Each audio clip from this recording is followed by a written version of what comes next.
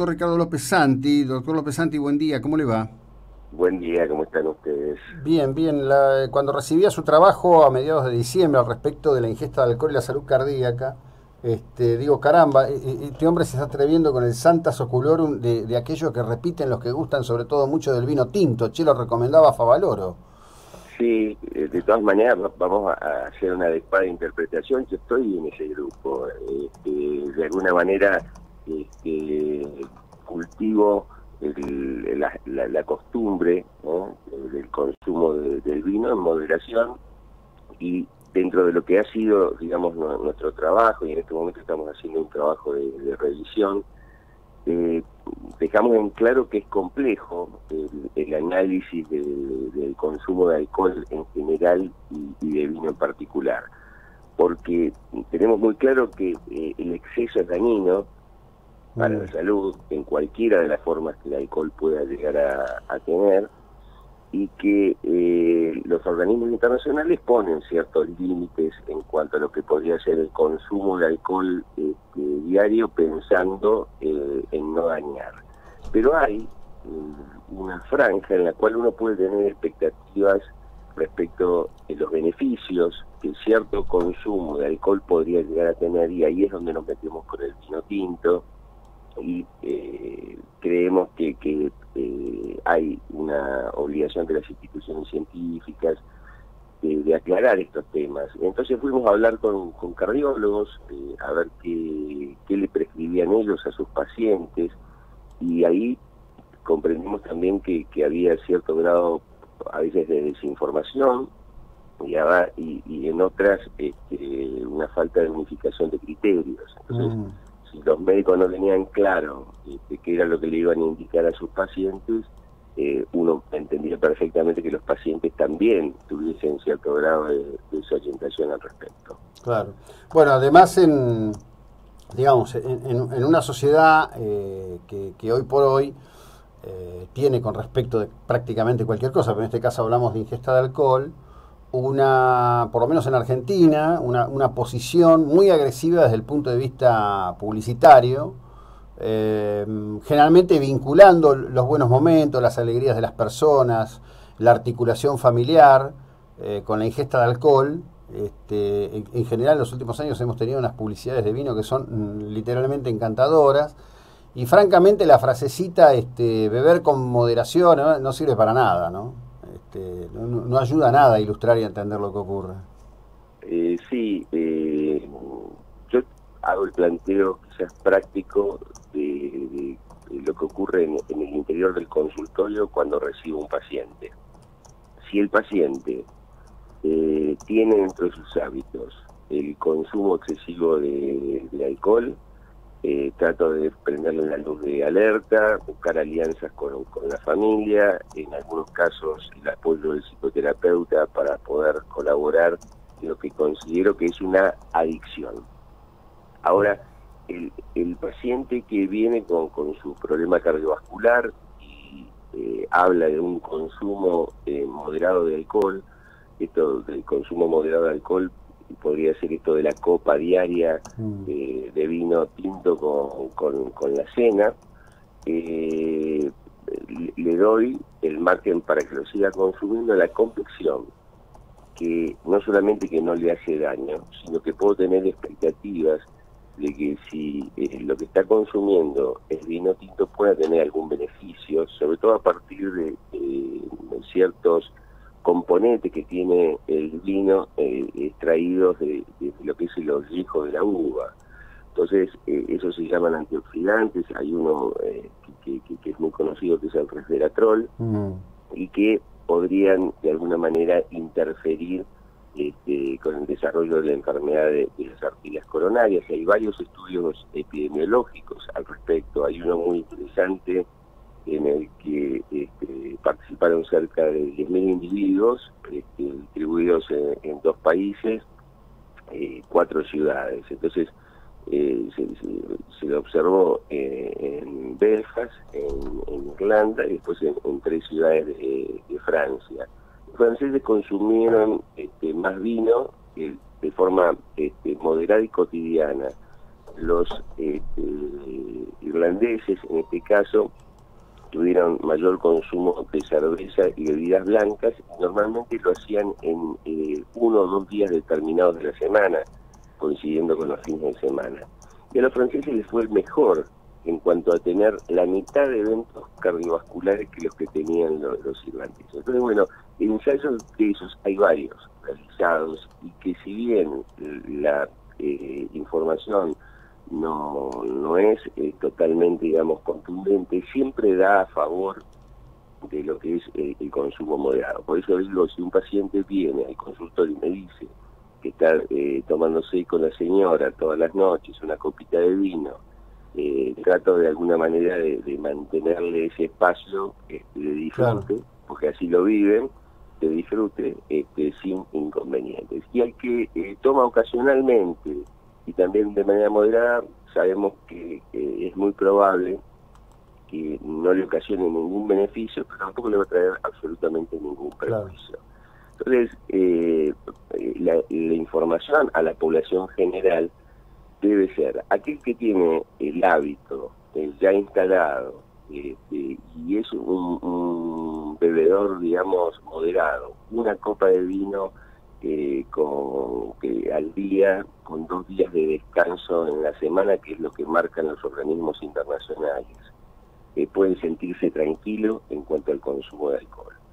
Si eso él lo traduce, vamos a ponerle que no toma vino y se toma eh, en, invierno una medida de whisky en menos de 30 centímetros cúbicos este, a la noche mientras que se ve una película.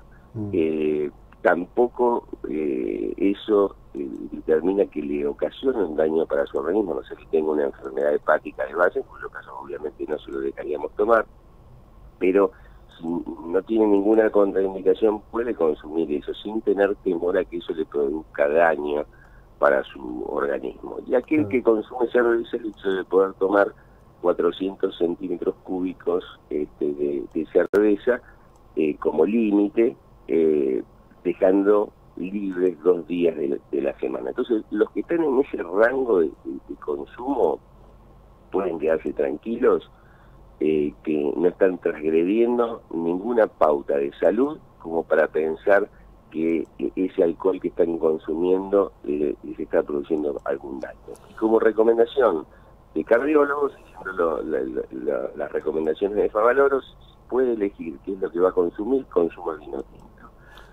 Aquellos mm. que tienen un consumo superior a lo que estamos marcando tienen que saber eh, que independientemente de, los otros riesgos que, se asumen, no este, tiene un riesgo concreto para su salud que debería tratar de evitar. Después entramos en lo que son las, las pautas de convivencia social en la cual decimos, bueno, se están produciendo muchos accidentes, este, hay eh, muchos muertos por esta razón y son predominantemente jóvenes. Bueno, ahí tendremos que generar una estrategia para evitar el consumo de, alcohol en determinados ámbitos. Desde mi punto de vista estoy de acuerdo con aquellas pautas de, consumo de alcohol cero para los que conducen un vehículo. Entonces, eh, ahí ya salimos de lo que puede ser el hecho de, del consumo de alcohol en cuanto a mi salud para eh, pasar al consumo de alcohol como una medida de seguridad para la sociedad en la cual yo vivo. Y ahí me parece que tenemos que ser duros, eh, que eh, evidentemente que hay ámbitos en los cuales este, debería restringirse el consumo de alcohol y los controles, sobre todo para el tema de automovilistas, deberían ser extremadamente rígidos y seguramente a partir de ahí podríamos tener eh, algún tipo de, cambio de estas estadísticas que nos asustan a veces. bueno, usted sabe que en, este partido de General Porradón, por decreto del intendente, la tolerancia es cero, ¿sí? Tema que inclusive, bueno, hay una presentación este, política en la Corte planteando que sería inconstitucional, este, pero la verdad que eso medio también se da de patadas con la actitud de la gobernadora que amplió el horario para la venta de alcohol este, en toda la costa atlántica, ¿no?